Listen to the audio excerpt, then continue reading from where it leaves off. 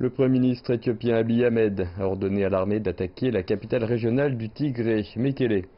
Il a dit que la fenêtre de réédition des chefs locaux avait expiré.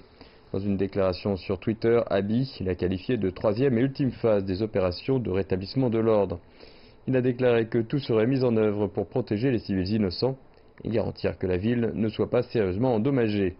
Abiy a remporté l'an passé le prix Nobel de la paix, en partie pour avoir mis un terme au conflit avec l'Érythrée voisine. Dimanche, il a donné au Front de libération du peuple du Tigré 72 heures pour se rendre.